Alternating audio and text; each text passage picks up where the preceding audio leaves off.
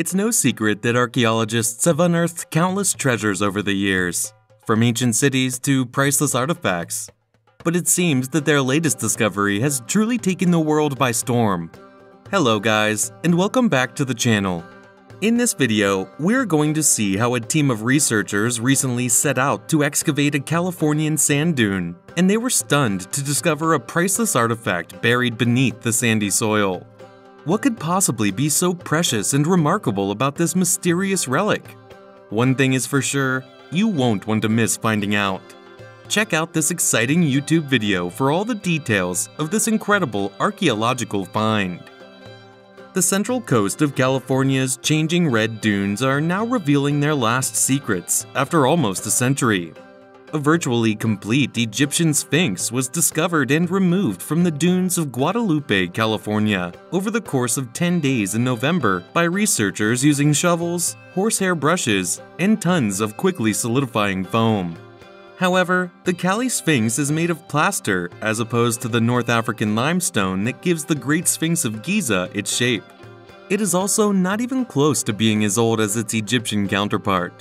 The Guadalupe Sphinx is perhaps the final remaining piece of a massive film set that renowned filmmaker Cecil B. DeMille built here in 1923 for his silent black and white film, The Ten Commandments.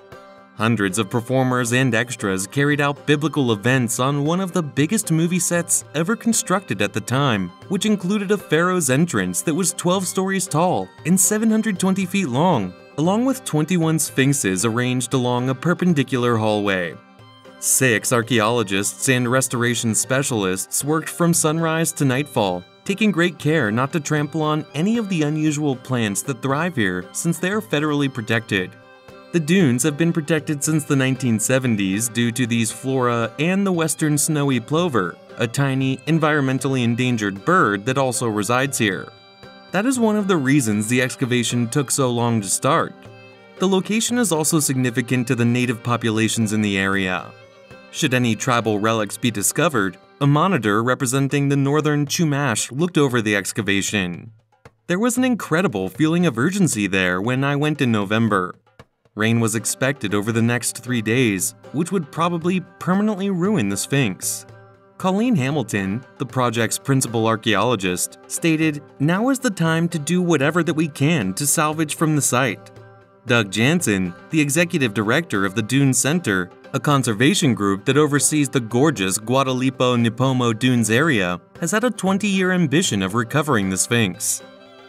Depending on the light, the four square mile stretch of reddish sands evoke images of either ancient Egypt or Arrakis, the desert planet from Frank Herbert's novel Dune. Jenzen fought for five years to get the excavation's money and permissions. The 37 year old scampered about the open hole here in a state of frenetic delight as the project approached completion. He added, watching one of the researchers delicately remove sand off the Sphinx's serrated headpiece, it's both thrilling and terrible. It's debatable if anything that isn't nearly a century old qualifies as noteworthy. The hub of man made fiction that emerged from a virtual wasteland in the first part of the 20th century is Hollywood, after all. One of its imposing figures was DeMille. For Californians, this qualifies as deep history, even though the director's Sphinx may not have the same weight as, say, a mystery vacuum inside the Great Pyramid of Giza. It took more than 1,300 employees, 3,000 animals, 50,000 feet of timber, 25,000 pounds of nails, and 250 tons of plaster to construct the set. Only a pharaoh would dare try anything like that. Given the significance of the film industry to the state, pointing out that it was designed to be transitory seems trivial. It's a big discovery, says Jenzen. Nowhere else in the world is there anything like it. Why DeMille chose to bury the set at all is one of the lingering puzzles in this situation. There are two explanations, according to Jenzen.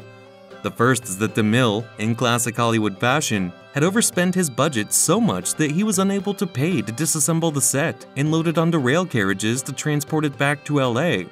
The second reason is that DeMille, a perfectionist who obsesses over even the slightest details, didn't want another filmmaker to utilize the set secretly for a different, more subpar project. Before CGI enabled the production of whole planets on silicone, repurposing sets and sometimes outright appropriation of them was frequent. Because so few people were aware that it had been buried, the set was regarded as lost in Hollywood circles. Of course, the locals were aware of its presence. In 1983, when director Peter Brosnan was reading Cecil B. DeMille's autobiography, he came across the following passage. If 1,000 years from now archaeologists happen to dig beneath the sands of Guadalupe, I hope they will not rush into print with the amazing news that Egyptian civilization extended all the way to the Pacific coast. To locate the buried set, Brosnan set out. West of Santa Maria, the center of wine country, in the little community of Guadalupe in Santa Barbara County, he spoke with residents. He eventually came to a local who guided him up the inclining dunes, showing a little galaxy of debris scattered across the sands, including rusty nails and fragments of plaster. The county of Santa Barbara, which has control over the site, hindered Brosnan's attempts to dig the region, and he documented the experience in the new docudrama The Lost City of DeMille. When Brosnan finally secured consent and funding for excavation in 2012, his team uncovered a section of a sphinx and went out to get the remainder, believing that it would make the ideal finale to their movie if they were able to find the whole of it. Unfortunately, the Sphinx that they found was in poor condition, and when they tried to remove it, it shattered to pieces in their hands. Despite this, the elimination makes for a suspenseful and exciting finale to the film.